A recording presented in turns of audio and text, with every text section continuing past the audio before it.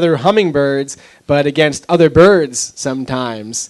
Uh, and that's just a natural, normal part of their behavior because that kind of food supply could be in limited supply and they want to guard their source from other birds. It doesn't make sense to us when they've got when you have a hummingbird feeder and there's four ports on it and plenty of water, why are they fighting over it? They'd be using less energy if they just all sat and fed together, which they do in some cases, but they don't really realize that their instinct is to fend off any other hummingbird from that feeder.